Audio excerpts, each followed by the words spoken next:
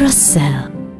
Uh, Colombo Kalutara මහාධිකරණ දෙකෙන් uh, දහ තුනකට මරණ දඩුවම. Uh, කළුතර මිනිමැරුමකට අටක් ඒවගේම කොළඹ කුඩු ජාවාරමකට පහක් යනුවෙන් තමයි ප්‍රධාන සිරස්ථලය වාර්තා කරන්නේ. බස්නාහිර පලාතේ කොළඹ සහ කළුතර මහාධිකරණ වෙනසුවරුන් විසින් මෙම නඩු තීන්දු ප්‍රකාශයට පත් කරලා තියෙනවා. ඒ අනුව තියුණු ආයුධවලින් කපාකොටා පහරදී පුද්ගලයෙකු ඝාතනය කිරීම සම්බන්ධයෙන් චෝදනා ලැබූ ඉත්තිකරුවන් අට දෙනෙකු වරදකරුවන් කරමින් කළුතර මහාධිකරණ වෙනසුරු ප්‍රදීප් අබේරත්ම මහත්මා ඊයේ මරණ දඬුවම නියම කරලා තියෙනවා.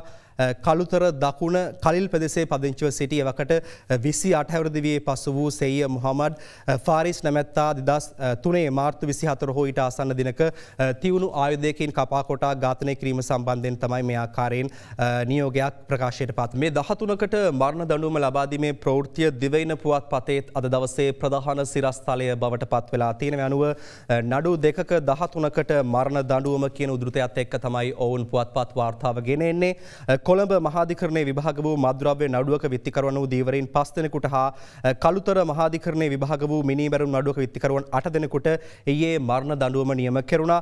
හෙරොයින් කිලෝ එකසිය පනස් දෙකයි දශම තුනයි හතරයි එකක ප්‍රමාණයක් සන්තකයේ තබා ගැනීම ජාවාරම් කිරීම ඒවගේම ජාවාරම් කිරීමට ආධාර අනුබලදීම සහ කුමන්ත්‍රණය කිරීම කියන චෝදනාතුනට වර්ධකරුවන් කනු ලැබූ දීවරයන් පස් දෙනෙකුට කොළඹ මහාධිකරණ විනිසුරු ආචාරය නාමල් බණ්ඩාර බලල්ලේ මහතා ඊයේ මරණීය දණ්ඩන නියම කළ බව තමයි ඒ ආකාරයෙන් පුවත්පත් වාර්තාවේ දැක්වෙන්නේ ලංකාදීප පුවත්පතත් මෙම ප්‍රවෘත්තියම වාර්තා කරනවා මත්කුඩු මිනිමැරුම් නඩු දෙකකින් දහත් තුනක් පෝරකයට කියන සිරස්ථලයත් සමගින්.